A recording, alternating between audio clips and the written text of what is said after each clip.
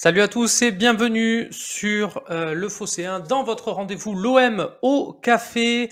Euh, vous êtes déjà très très nombreux sur le chat. Je vous en remercie. Très heureux euh, d'entamer la semaine avec vous, même si je ne suis pas très heureux la plupart d'entre vous. On pense bien sûr, c'est la punchline de René. Ne nous demande pas si ça va un lendemain de défaite.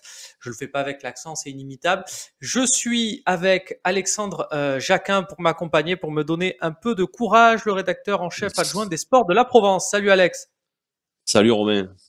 Salut à tout le monde. Euh, on était ensemble au, match hier au, Vélodrome. Euh, voilà, c'est forcément, c'est pas super, c'est pas un sentiment super euh, super agréable. Bah, on va commencer par ça. Alex, j'imagine que est-ce que il y a pire que ces, ces défaites au mois de mars? Est-ce qu'une défaite au mois de mars comme ça contre Monaco, c'est plus dur qu'une défaite au mois d'octobre? Après, il y a toujours pire dans la vie hein, quand on voit ce qui se passe en Ukraine. Euh, évidemment, on, évidemment, on relativise parce que tout ça ne, ne reste que du football. Euh, le problème, c'est que c'est que l'OM a, a, a, fait une première période quand même tout à fait correcte. Il y avait du mouvement, il y avait, il y avait du jeu, il y avait peu pas peu d'occasions de but. Il y a eu cette frappe de, de Rongier qui aurait pu faire mouche, mais euh, enfin on va dire que sur le papier, euh, la composition de départ euh, donnait envie. Hein. On s'est dit, il va mettre, il va mettre euh, derrière Milik, il va jouer en 4-4-2. bon, ça, semblait, ça semblait cohérent, sauf qu'en fait, l'OM n'a pas du tout joué comme ça. Et au bout du compte, cette défaite, elle fait très mal dans la, course au podium à cet instant de la saison parce que parce l'OM n'est pas hum, on pourra toujours dire que l'OM est qualifié en Ligue Europa Conférence, mais la saison passée, cette, cette compétition n'existait pas. L'OM était éliminé en fait de la Ligue Europa, l'OM était éliminé de la Coupe de France, et l'OM euh, n'est plus que troisième et voit ses poursuivants revenir à, un moment donné où, le club traverse sa première crise de l'ère Longoria. C'est une crise sportive, il n'y a rien d'alarmant, euh, il n'y a pas péril en la demeure. Je pense pas que le coach va être viré euh, du jour au lendemain comme ça, mais c'est inquiétant pour c'est inquiétant sportivement pour la suite de la saison et pour, et pour euh, cet objectif prioritaire et qui est euh, vital économiquement, qui est le podium quand même. il y a Michael Dromois qui nous dit comment euh, participer à l'émission avec vous. Voilà, Polka t'a répondu. Voyez avec Polka qui gère, et encore merci à lui, toute la communauté. bien sûr que je nous retrouve un, jour dans la semaine avec grand plaisir. Voilà, tout le monde nous dit qu'ils sont très énervés, qu'ils ont eu du mal à trouver le sommeil. Bah tiens, Question aussi très bête, euh, Alex, euh, perso, parce que au-delà du fait d'être journaliste et de suivre depuis des années, euh, puis même des dizaines d'années. Ça fait, une dizaine, ça fait 10 ans, 10 ans, ça fait 10 ans. Depuis, depuis que tu suis comme ça l'OM, quand il y a une défaite comme ça, tu en restes pas moins un supporter de ce club-là. On est journaliste, voilà, on est quand même, on suit l'OM toutes les semaines. Euh, on va pas se cacher évidemment qu'on préfère l'OM à, à, Lyon ou, ou à Bordeaux. Euh, est-ce que tu trouves le sommeil comme euh, on sait que les supporters, tu te refais des fois les matchs, tu regardes des trucs. Est-ce que tu trouves le sommeil après un match comme ça? Comment ça se passe? Après, tu rentres, euh, tu après, je pense que c'est comme Ouais, je pense que c'est comme toi. Bon, après, moi, j'habite pas très loin du stade en plus, mais donc j'entends encore les bruits après les, après les matchs. Mais euh, je pense que c'est comme toi quand tu quand tu es un peu dans, il y a l'adrénaline du match. Tu, tu, tu, tu, es dans le match, tu es dans la conférence de presse, tu es dans, dans l'envoi des de bah, l'envoi du contenu, quoi. Euh, puis tu, tu, vis quand même le match parce que oui, évidemment, euh, oui, moi je suis né à Marseille, j'ai grandi à Marseille, j'étais abonné au Vélodrome euh, pendant des années. Euh, évidemment, tu il y a quand même une, un attachement particulier à, à, ce club et tu quand tu rentres chez toi, que tu vois un match comme ça, c'est je dirais pas que c'est pas qu'on a du mal à dormir, mais c'est qu'il faut, il faut du temps pour que l'adrénaline redescende, quoi, pour qu'on pour on, repasse un peu le match dans, dans sa tête. On, refait, on se dit ce qui allait, ce qui allait pas. Bon, hier soir, il y avait beaucoup de choses qui n'allaient pas, euh, et on se demande surtout qu'est-ce que, que va être la suite, parce que voilà, ça fait ouais, voilà, tout comme toi, hein, ça fait des années que, que je couvre le club et, et, et j'ai l'impression que l'histoire de l'OM c'est un éternel recommencement, qu'il y a des hauts, qu'il y a des bas, et quand on voit les signaux négatifs, ils sont là depuis plusieurs semaines et, et au début, quand on a commencé nous à faire euh, ou de papier sur euh, Sampaoli, comme un doute, euh, on s'est fait beaucoup critiquer sur les réseaux sociaux. Euh, en même temps, si, tu ne peux pas critiquer sur les réseaux sociaux quand tu fais quelque chose, c'est pas bon. Oui, c'est a un problème. Oui, ouais, c'est pas bon signe. c'est pas bon. Donc, on s'est fait beaucoup critiquer sur les réseaux sociaux. C'était il y a six semaines à peu près, mais il y avait quand même déjà des, il y avait les prémices d'une petite crise quand même, parce qu'avec comme ce qui se passait avec Milik, avec la gestion de, l'effectif, et, et voilà, et j'avais, enfin, je, je, dis pas qu'on avait prédit ce qui allait se passer, mais euh, mais j'ai bien peur que que voilà l'histoire de l'OM est un éternel recommencement comme l'histoire tout court et là on voit on voit on sait très bien que ça, ça, ça va, ça va. Je dis pas que ça va exploser maintenant, mais, mais que je vois pas comment cet OM là peut, peut faire peut faire bonne figure en Ligue des Champions quand même il serait qualifié la saison en fin de saison quoi. Euh, euh construit comme ça l'effectif il est pour moi il est bancal. Euh, je veux dire aujourd'hui on joue avec, des latéraux alors qu'en fait il, a pas l'effectif n'a pas été construit pour jouer avec des latéraux justement parce qu'en début de saison on voyait qu'il y avait pas de latéraux. Euh, on se retrouve avec Luan Pérez qui joue qui joue dans le couloir gauche mais c'est pas du tout un latéral gauche d'un système à 4 c'est c'est un défenseur axial gauche dans un système à trois défenseurs centraux. Euh, Rongier qui dépanne à droite, mais on fait plus jouer Lirola qui lui est un vrai latéral, mais un latéral de qui est un piston, qui est pas un latéral de, de, de, système A4 aussi, et, et tout ça euh, mis euh, bout à bout fait que fait que oui, on se dit que c'est inquiétant. Et bon voilà, après les matchs, moi chaque fois je me dis mais pourquoi ils ont fait ça, pourquoi ils ont fait ça, pourquoi ils ont changé, euh, euh pourquoi pourquoi attendre la 80e minute hier soir pour faire rentrer justement Lirola et Kolasinac? Quand on se dit que bon Milik il attendait centre, il n'y avait pas de centre. Il n'y avait, y avait pas eu un centre dans, dans, dans ce match, enfin, j'ai, enfin, pas eu un bon centre, entre guillemets, quoi. Voilà, on va dire, on va refaire. Il n'y a pas eu un bon centre. Euh, donc, on, voyait, voilà, on refait les matchs, on ressasse, et on se dit, bon, on aurait, peut-être dû faire ça. Alors après, c'est, c'est facile de se mettre à la place du coach, c'est facile de se mettre à la place des recruteurs, euh, c'est plus dur d'être vraiment sur le banc d'être vraiment euh, euh, à la tête de mercato. Je, je, je, prétends pas donner de leçons. Euh, on n'a jamais fait ça, mais, mais c'est, c'est il y a des signaux qui font qu'on se dit que que ça va ça risque d'être compliqué dans les semaines à venir.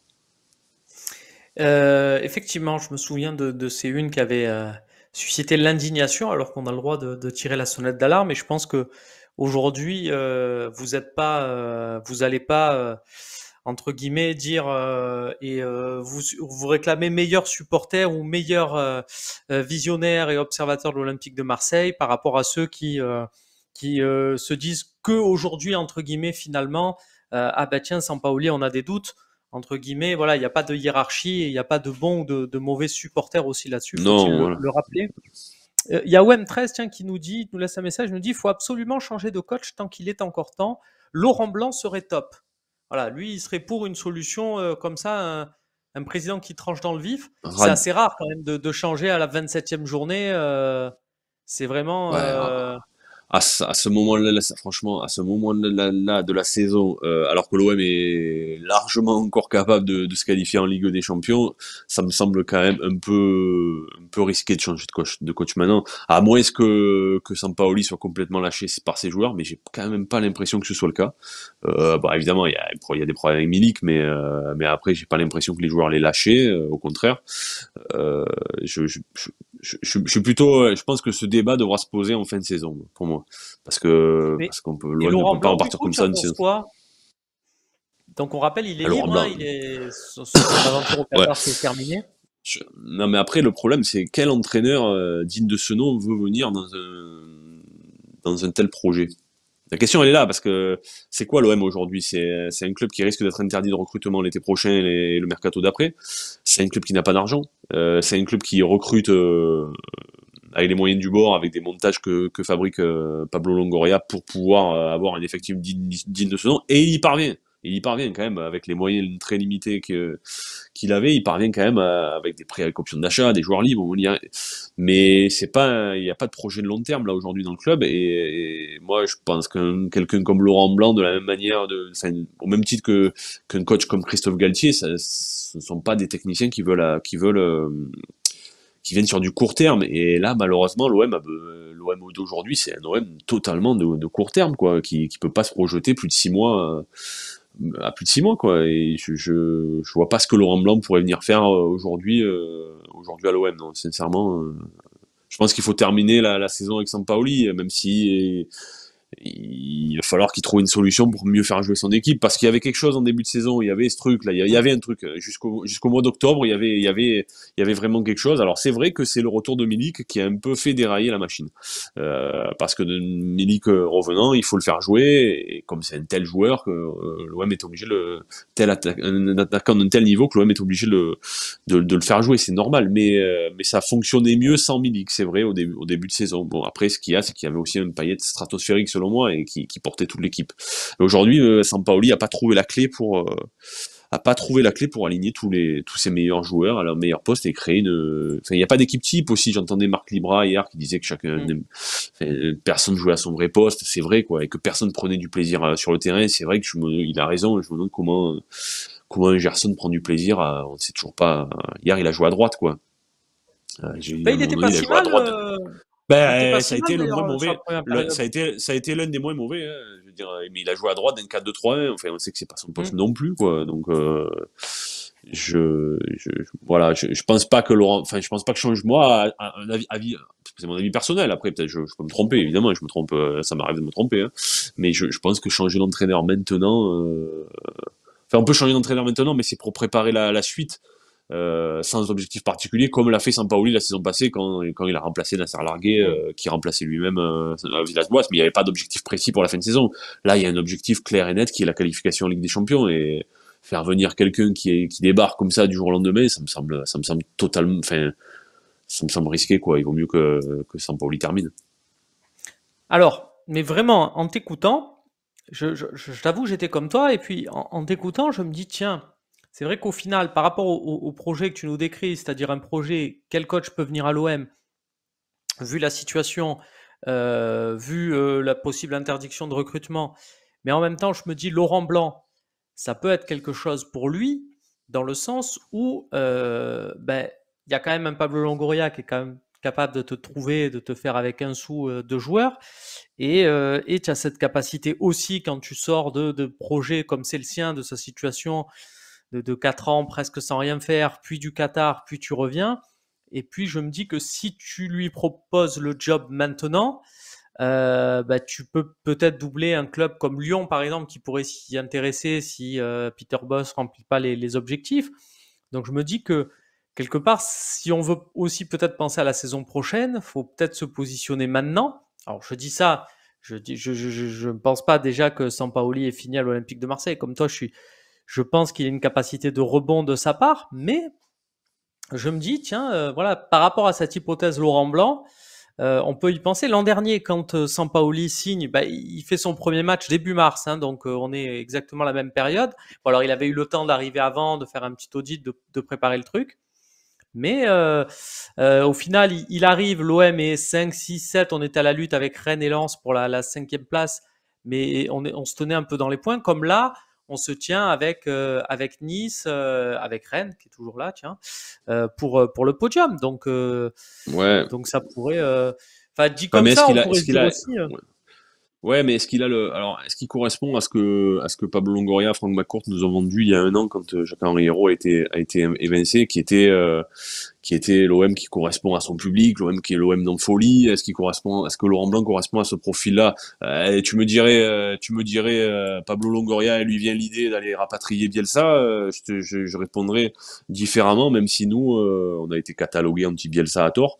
mais je, je je, je, te, je dirais pas non. Euh, aujourd'hui dans le dans le projet qui est qui est qui est celui de faire jouer des jeunes de faire jouer des d'essayer de valoriser des mecs pour ensuite les revendre plus cher euh, pour le coup euh, pour le coup je pense que que Bielsa ferait peut-être plus ferait peut-être mieux remplirait mieux cette mission là que que Laurent Blanc après Bielsa ça peut pas arriver comme ça en mars hein. ça, ça ça peut arriver en mars pour faire un audit pour démarrer la saison prochaine mais mais j'ai pas l'impression que Laurent Blanc il correspond au profil, euh, au profil de, de l'OM de Longoria. Je, je, Bah ouais, je veux dire, je sens, je sens pas, je sais pas, je sens pas assez de, de folie, ou alors c'est qu'on renie complètement ce qu'on a vendu aux supporters il y a un an, hein, mais euh, je sens pas assez de. Après, attention, hein, je remets pas en cause ces, qualités de coach qui sont qui sont excellentes hein, à mm. Bordeaux, à Bordeaux notamment. Il faut se souvenir euh, de, de l'excellent travail qu'il a réalisé à Bordeaux euh, à l'époque de Johan Gourcuff. Mais à Bordeaux, hein. Ouais, ouais, voilà, il y avait du, il y avait du sacré jeu, il y avait quand il a réussi à faire ce qu'il a fait de, de, de, Johan Gourcuff à Bordeaux, je l'imagine avec un Dimitri Payet, il y avait un, un, schéma à un moment donné, un, Enfin, ça, ça, jouait énormément. Ouais, il y avait, oui. Ah oui, ça jouait très, très, très, très bien, avec un vrai numéro On se rend Compte mais qu'à euh, Paris, euh, Paris n'a jamais été aussi fort que quand il avait instauré son, son milieu avec, euh, avec Thiago Motta, Verratti euh, euh et, et Blaise Matuidi, puis Adrien Rabiot. Donc, euh, quelque part, euh, moi je trouve que Laurent Blanc, alors c'est sûr qu'il va pas, il va pas se prendre des cartons jaunes à tous les matchs parce qu'il va gueuler sur l'arbitre en sortant de sa zone technique et en faisant les 100 pas. C'est sûr que sa touillette c'est moins sexy, mais euh, dans le jeu quand même, euh, voilà, c'est une idée en tout ouais, cas. Mais il ouais, mais, mais il débarquerait sans latéraux. Oui, ce que c'est ça que je veux dire. L'effectif, il a été, il a été construit pour Sampaoli, quoi. C'est ça le problème, c'est qu'aujourd'hui à l'OM, on a encore continué à fabriquer les mêmes erreurs et le seul qui l'a fait, le seul qui ne les faisait, qui ne faisait pas ces erreurs-là, c'était pas Diouf. On continue à donner trop de pouvoir à l'entraîneur. On a vu ce que ça a donné avec Rudy Garcia. Et là, aujourd'hui, on a construit encore. Alors, évidemment, c'est sûr que le Sampaoli arrive, il a envie d'avoir des garanties, il veut des joueurs, mais on continue encore à donner trop de pouvoir au coach. Et c'est le coach qui, qui entre guillemets euh, dicte sa loi pour la construction de l'effectif. Aujourd'hui, on se retrouve avec un effectif qui n'a pas, qui n'a pas de fin, qui a un latéral gauche, c'est Kolasinac, mais bon, dans Sampaoli dit qu'il n'est pas au niveau physique. On a un latéral droit euh, qui est Lirola, mais qui est pas fait pour jouer à 4 derrière. Et il ne joue jamais. Euh, enfin, cette saison, le, Sampaoli n'a jamais joué euh, dans un système pour mettre en valeur Lirola. Ce qu'il faisait pourtant la saison passée. la saison passée, dans son 3-5-2, dans son 3-5-2, euh, les centres de Lirola pour Milik, là, il y en avait. on n'a jamais, il n'a jamais, jamais, à aucun, ou alors je me trompe, mais il me semble qu'il n'y a eu aucun match où, où Sampaoli a utilisé Lirola vraiment en piston dans le couloir droit, ce qu'il aurait pu faire hier parce qu'il n'y avait pas Under en plus, donc il aurait pu tenter à tenter quelque chose, il aurait pu tenter ça peut-être, mais euh, mais la question c'est qui tu fais jouer à gauche dans ce dans ce cas-là et il y a personne la, la saison passée c'était Nagatomo. Euh, voilà, Nagatomo ou un peu Luis Enrique quand il jouait très offensif, mais c'était souvent Nagatomo. Euh, donc l'effectif, il est construit de manière bizarre, mais il est construit pour le jeu de Sampaoli. Et si demain un autre entraîneur débarque avec cet effectif-là, euh, bah, à moins qu'il y ait des jeunes au centre de formation qui puissent tirer leur épingle du jeu, il me semble qu'il y a un gros problème de latéraux dans cette équipe, alors qu'il y a beaucoup trop de milieux, milieu défensifs et relayeurs. Après, promis, on passe à notre sujet, mais vraiment, tu vois, par rapport à ce que tu me dis sur, Laurent Blanc et sur le, pouvoir du coach, je me dis que le mec qui sort euh, d'une expérience où il se fait virer au Qatar, euh, où il a, voilà, sa carrière d'entraîneur est, pas au top, il pourrait accepter de venir et de, entre guillemets, de se dire, euh, OK, je vais être un, désolé pour l'appellation, un Albert Raymond amélioré, où, ça sera euh, avant tout euh, le président, directeur sportif qui décide. Et puis, et puis moi, je, vais faire ce que je sais faire. Et si ça se trouve, je dis, je sais pas, mais vraiment, c'est les. Je, je, suis pas là à dire il faut qu'on dégage Sampaoli et qu'on mette Laurent Blanc, mais plus j'y pense, plus euh, Mais est-ce qu'il sait voilà la question c'est mais est-ce qu'il est-ce qu'il sait vraiment faire Laurent Blanc sans gasser La question elle est là aussi parce qu'aujourd'hui il n'avait pas gassé euh, euh, mm. dans le club où il était euh, quand il y avait Laurent Blanc, Jean-Louis Gasset, ça c'était c'était très fort. Euh, aujourd'hui c'est Laurent Blanc, Franck Passy la doublette non si je me trompe. C'est ça. Enfin c'est Laurent Blanc, Franck Passy. Après Franck Passy avec tout le, respect qu'on lui doit, je crois qu'il n'a pas les niveaux tactiques de, de Jean-Louis Gasset quoi.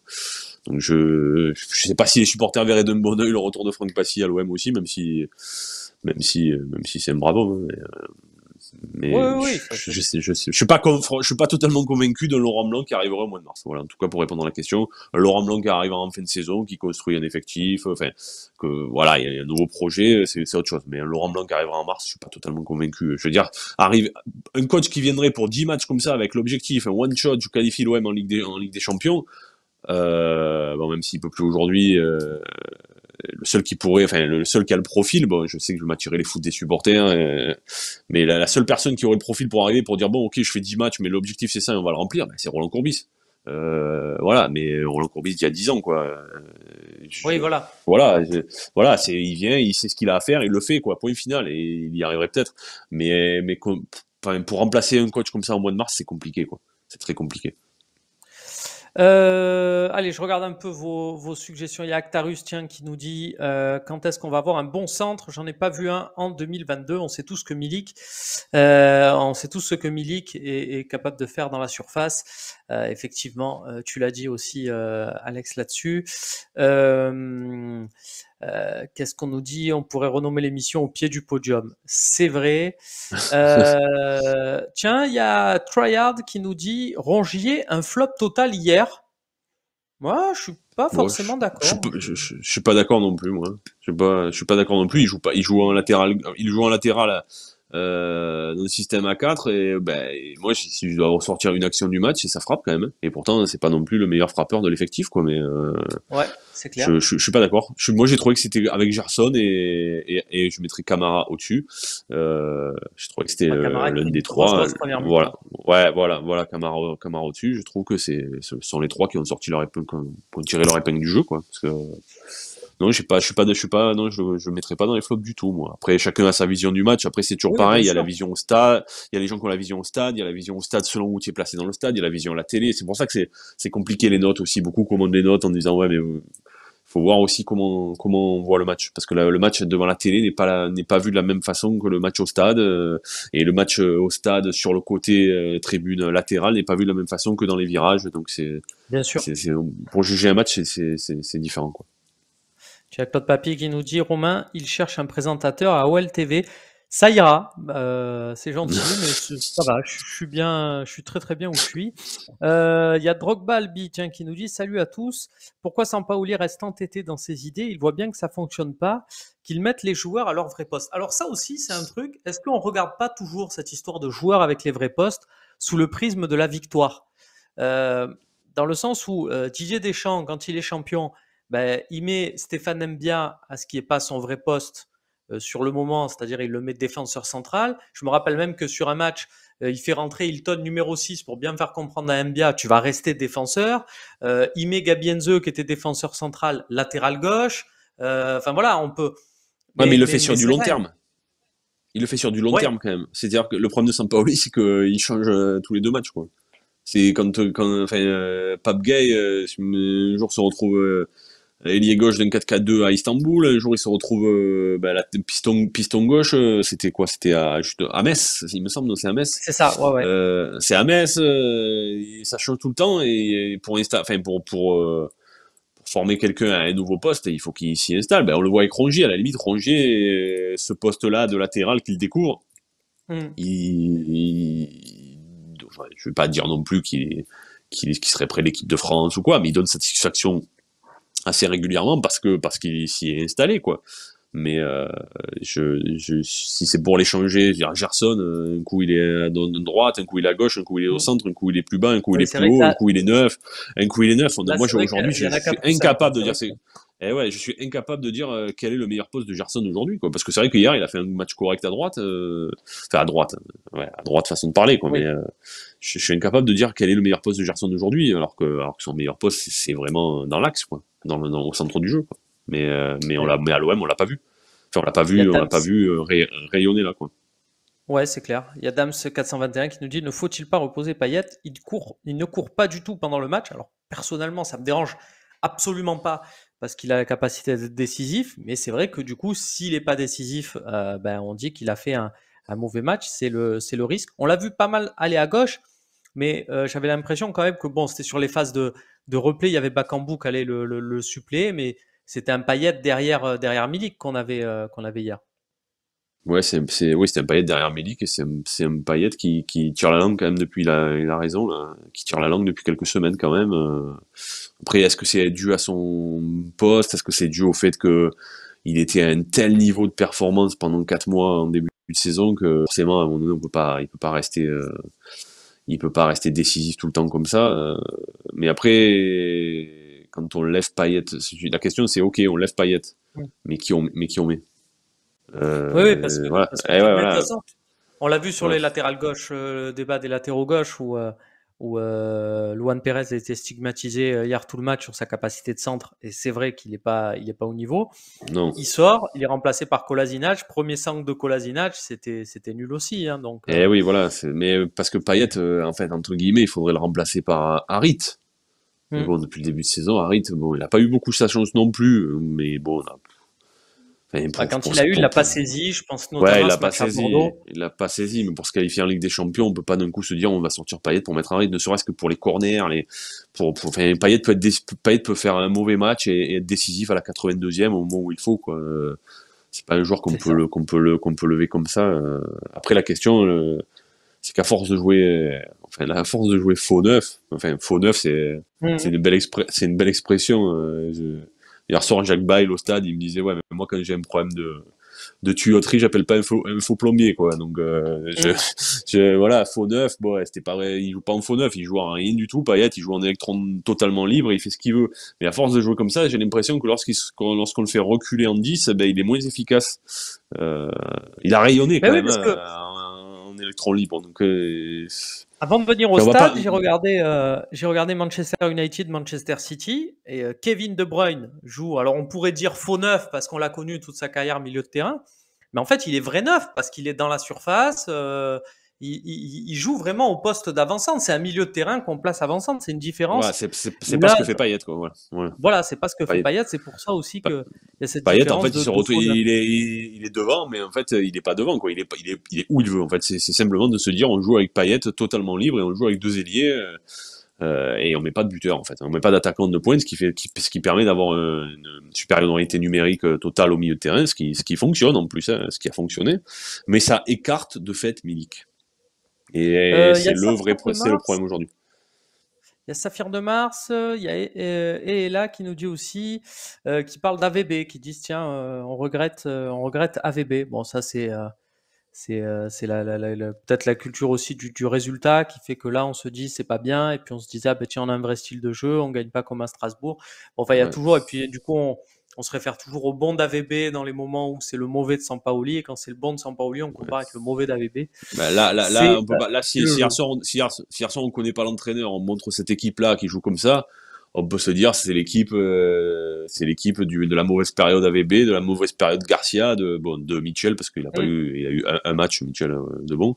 Euh, c'est l'équipe des mauvais, des, non mais c'est l'équipe des sales périodes quoi. Quand on voit quand on voit l'équipe mm. jouer comme ça. Euh, après, j'ai trouvé, alors je, les ai trouvés quand même euh, dans les, je sais pas, je sais pas toi, Romain, mais dans les mhm. déclarations d'après-match. Alors, il n'y en a pas eu beaucoup. Il y a eu que Gendouzi et Sampaoli.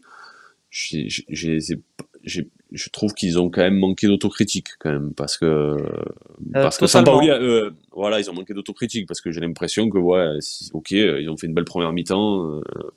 je dirais qu'ils ont fait une première mi-temps correcte, moi, belle, c'était un grand mot.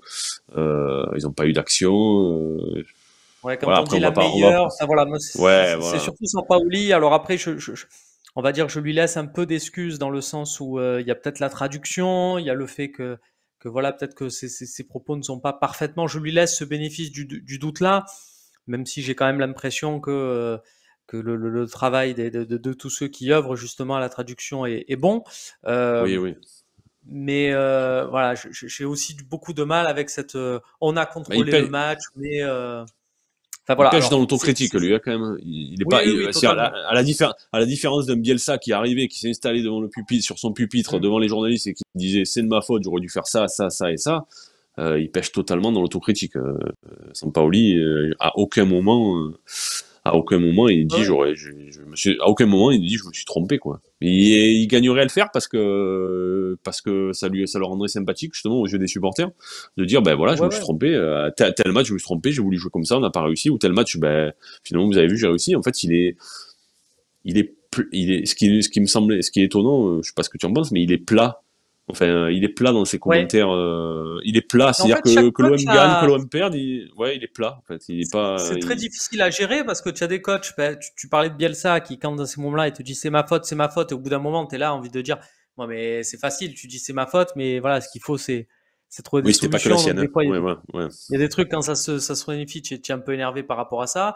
Euh, bon, Rudy Garcia, je crois que c'était le pire à, tout mettre sur le dos de, de l'arbitre à chaque fois. C'était, c'était, c'était insupportable.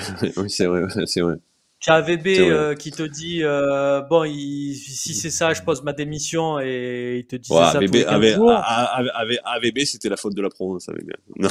Non, je blague. Ouais, je, je, blague, je blague. Il y a eu ce truc-là, il y a eu ce truc-là une fois et c'est vrai que je, je, je, blague, je, blague. dis ça, mais moi j'en suis convaincu que ça a grandement affecté la préparation de son match suivant.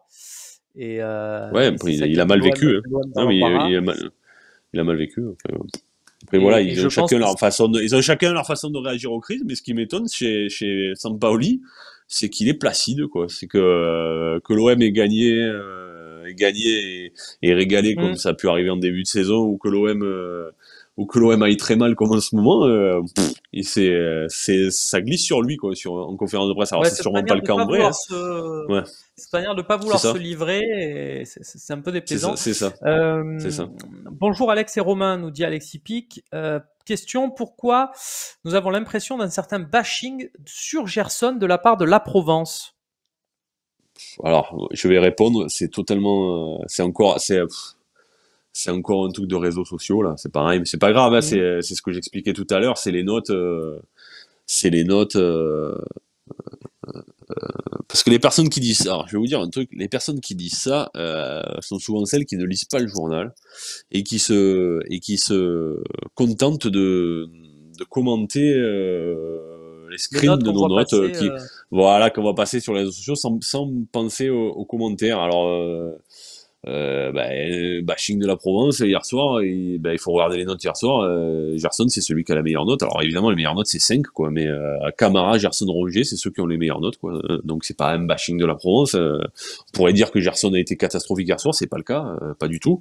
Il a été moins catastrophique que d'autres. Euh, après, enfin, si, si, comme que, quelqu'un vienne m'expliquer que, que Gerson contribue grandement à la belle saison de l'OM quand même, parce que moi, je, on omet totalement le prix. Alors ok, c'est vrai, il y a peut-être le prisme du prix. Il fait qu'on se dise qu'on attend plus de ce joueur-là, mais qu'on ne peut pas quand même comparer la saison de Gerson et la saison de Gendouzi, la saison de Gerson et la saison de Wunder, la saison de Gerson et la saison de Payet. Euh, il faut lui laisser, il faut lui laisser du temps. Gerson, il sera peut-être très très bon la saison prochaine.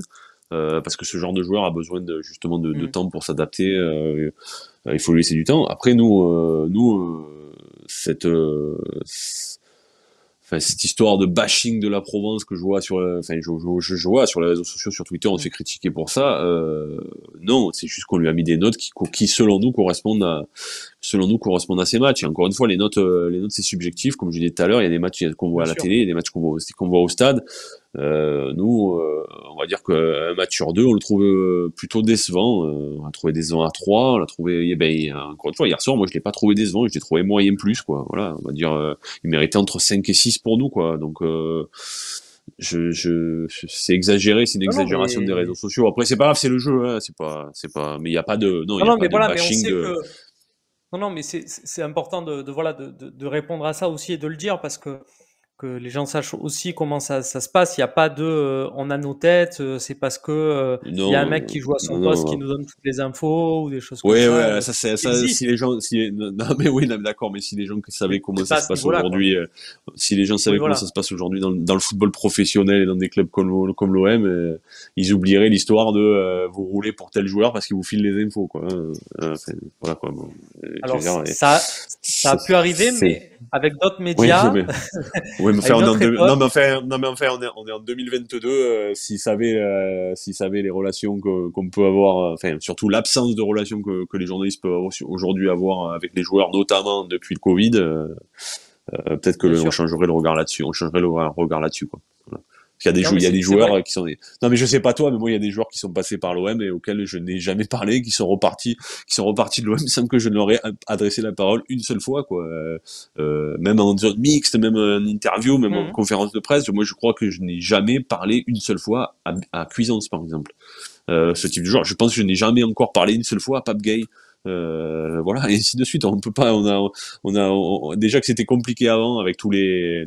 C'est ça qu'il faut expliquer des fois aux supporters qui critiquent en disant oui, mais vous critiquez parce que voilà, vous critiquez, vous taillez Paul Lopez parce que vous êtes ami avec Mandanda et son agent, mais c'est n'importe quoi. Enfin, c'est pas, c'est pas, c'est n'importe quoi. Mais il faut l'expliquer aux supporters que c'est, ce sont des. Alors oui, ça peut arriver peut-être dans, enfin ça, ça peut-être, je sais pas, ça peut être arrivé dans d'autres médias, mais en tout cas ça, ça arrive pas chez nous. Euh, je, je, je, ça arrive pas chez nous. Je, je, je mens pas là dans l'histoire. Ça arrive pas chez nous. Je suis pas là à dire euh, je vais je vais tailler un tel parce qu'on c'est une c'est une c'est une légende qui vient peut-être de du vieux journalisme. Euh, il y a dix ans, il y a dix ans, Alex, il y avait un joueur en activité de l'OM qui sortait une biographie Et les auteurs de sa biographie étaient des journalistes chargés de suivre l'Olympique de Marseille au quotidien.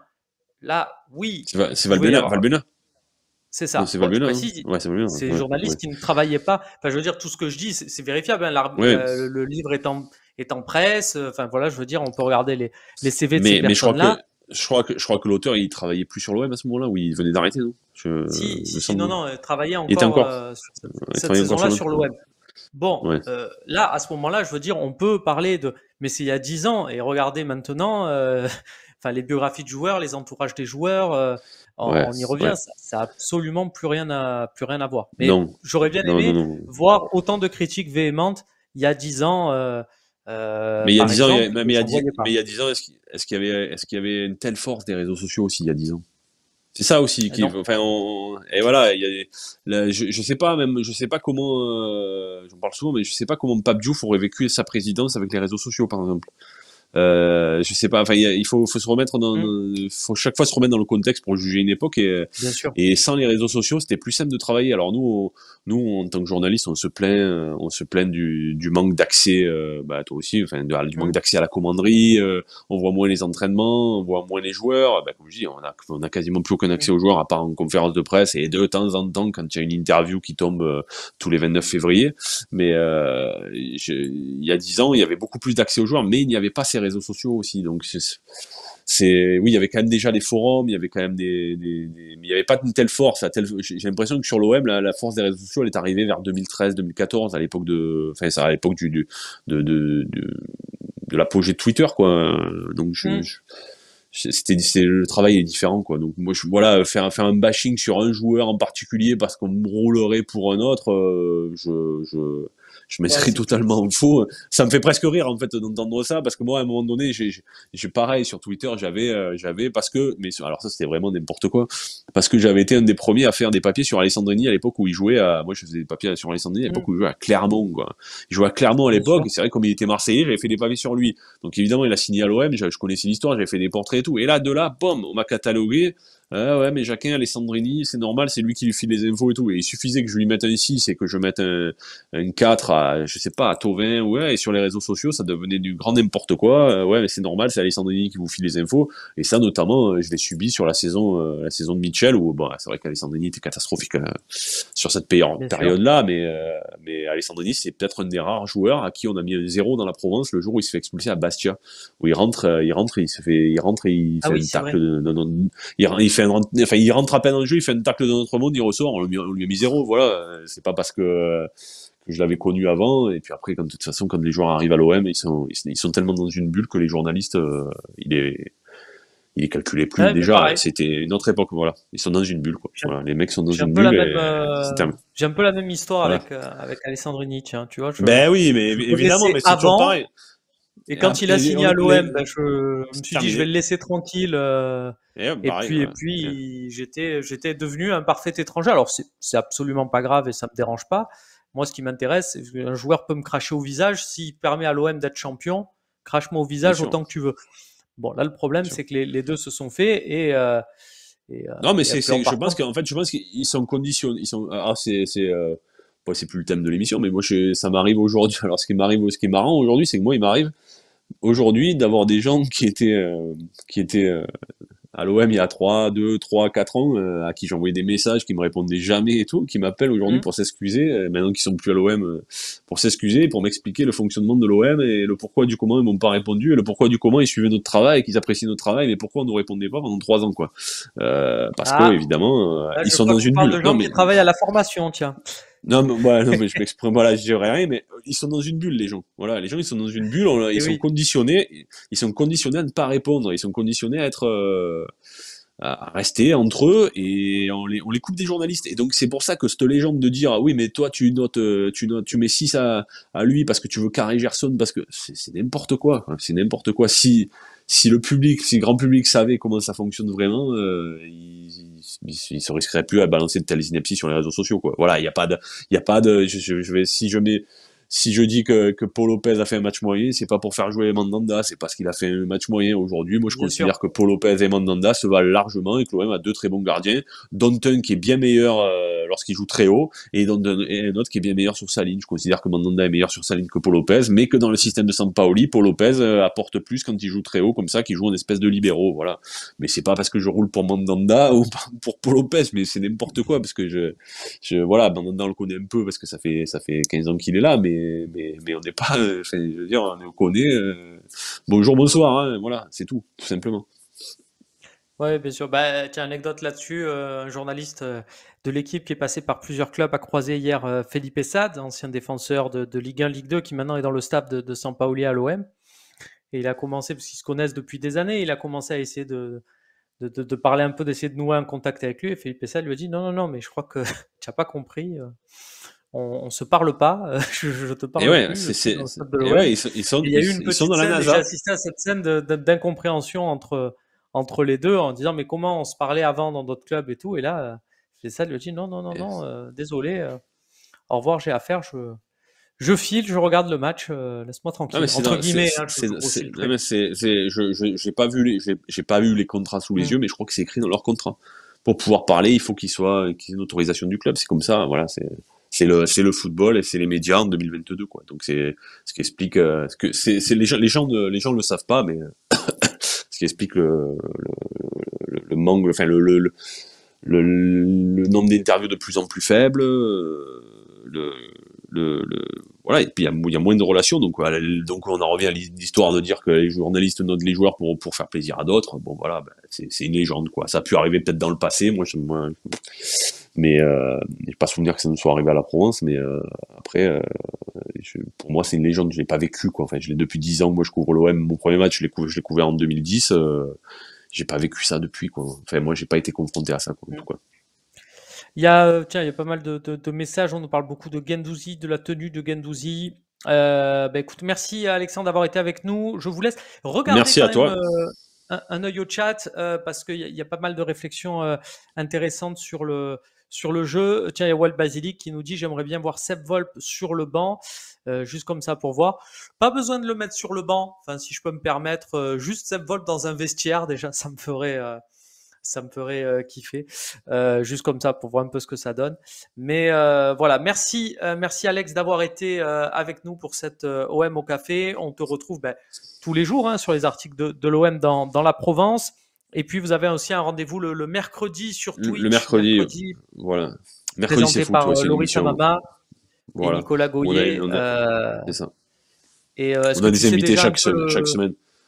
Voilà, puis bientôt, on va recevoir, bientôt, euh, bientôt, enfin là on est en train de caler le programme, hein. bientôt on va recevoir Bernard Pardo, on aura Sat, euh, on aura, on aura quelques, quelques, on aura, on aura aussi euh, pour le pour le, le, deuxième anniversaire de la mort de Pape Diouf, on aura Alexandre Faure qui est le président de la fondation Pape Diouf, voilà, on aura quelques invités comme ça, mais on, a pas, on est en train de caler le programme précis, voilà.